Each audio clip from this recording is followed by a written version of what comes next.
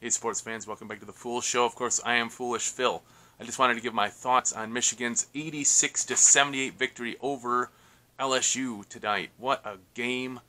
This game was highly entertaining, highly frustrating, and what sports is. and right now, it's just, whoo, what a high right now. I tell you what, if you didn't see the game, man, try to find a copy of it because this was just a super fun game to watch. The first half, LSU was on fire. They were hitting fadeaway jump shots, especially Thomas. He had 19 points in the first half for the uh, Tigers. He was just on fire. But at half, Michigan climbed back in. Michigan was getting the shots they wanted. Michigan was hitting their shots, and Michigan actually led 43 to 42 at halftime. And Eli Brooks was leading the way, I think, at 13 points in the first half for Michigan. Thomas, of course, was leading for LSU. The second half was just total, just craziness. LSU would go on like a 10 12 to 3 run. Michigan calls timeout. Michigan goes on a 10 nothing run. LSU calls a timeout. LSU goes on a run. Michigan calls a timeout. It was back and forth and back and forth. It was just such a good game. And it was, uh, it was so much fun. Definitely in the second half, too. I think that Thomas was getting tired. Michigan did a really good job of having Chaundee Brown cover him. And uh, so then the other LSU players, Smart, started going off. Both Smart and Thomas finished 10 of 23 for the game. So they did, they were like LSU's offense. But Michigan was just balanced. Michigan had four players in double figures, Eli Brooks with 21. Chaundee Brown, 21 points off the bench on 6 of 9 shooting. He was aggressive. He had been in a slump the last two games. He had one shot, I think it was, against Texas Southern, and he did hardly anything against Ohio State in the Big Ten tournament. Just he was aggressive, he was driving, and that was the thing. That Michigan's kind of figured out along the way is that the refs were calling drives, they weren't calling other fouls, and they started taking advantage of that, or at least catching up. Man, I tell you what, the first four minutes of the second half, Michigan had five fouls called against them in the first four minutes. It was insane what the refs were calling. Michigan was getting a couple blocks, and they got called for fouls. Honestly, both sides were yelling at the refs. You you had the announcers kind of looking at replays every so often. The replays are terrible uh, by CBS too. They're showing you like a shot that was made. They're not showing you the replay of the foul or the turnover where you know players are being hit and such. They show you. It's like they're trying to protect the refs because the refs are trash. Really, the refs are just trash. Both sides were complaining about the refs. The refs were terrible. They even pointed out towards the end of the stretch, uh, down the stretch there, where uh, Davis was called for a foul by the ref on the other side of the court. Two refs closer didn't call it. The ref way on the other side, who had to look through 10 players, called the foul. I'm just insane what they were calling. And by that point, both teams were in the double bonus. So going back to the refing, too, right? Michigan was five fouls in the first four minutes, six in like the first, you know, whatever. Really short, short, short.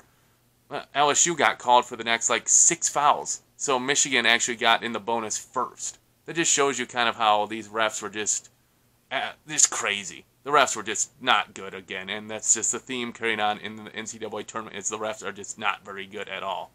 Now, getting back to the game, Hunter Dickinson really was, even though he had a double double, he wasn't a big factor in this game. His ability to hit out of double teams, though, the, where he would almost get the hockey assist. He would pass out, and Michigan would swing the ball over for an open three. Usually it went to Chaundee Brown or Eli Brooks. Was very important.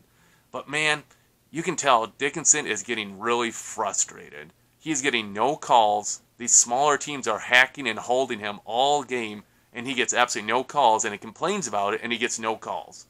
And I'm surprised he didn't foul out. He had four fouls, and they put him back in when uh, LSU was doing the press so they had him in the center so he could get the ball and pass over top of people and such. And he had a great pass to Wagner for a breakaway slam that was, you know, kind of the exclamation point of the game. So Dickinson, again, he's a freshman. Hopefully he can learn from this and not talk so much because he get he got called for two, at least two offensive fouls, and every time the refs don't like being talked to. They don't and they know the refs know they're not great, but they don't like being shown up by anyone, especially a freshman. So Dickinson's got to learn. Just keep your mouth shut. I know, like almost every foul, the, each side is complaining though, so it's oh, it's just annoying. A few key things here. Michigan was up by six ish points, I think it was. Mike Smith just had a brain cramp. He had Michigan had the ball and he shot an air ball as the clock was kind of running down, and then Michigan came down. Michigan got called for a foul. LSU hit two free throws, and then Michigan inbounded the ball and Mike Smith traveled again. So what did Howard do? This was not a demotion. This was extremely smart by Howard.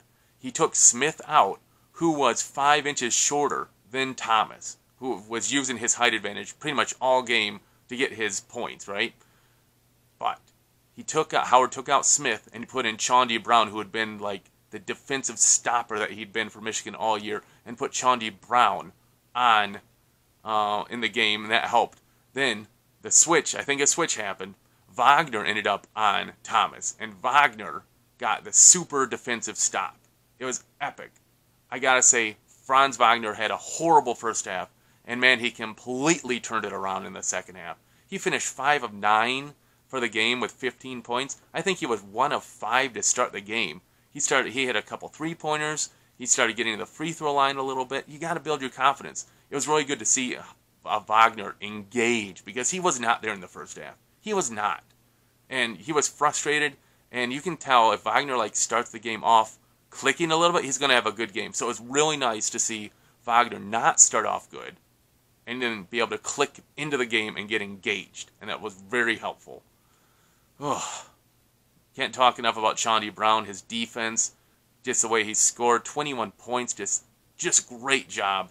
You had some bench there. Davis had one free throw. In fact, Michigan's free throws in the second half. I sorry, I'm sorry if I said this again. They were 13 of 14 in the second half on Michigan free throws. The only miss was Davis, and he's a 50% free throw shooter. I'm very happy when Michigan can get, especially when you're in the lead like that. You don't want any empty possessions. You got to get a point every game. Sorry, every possession. Get a point. It, you got to hit one of your free throws.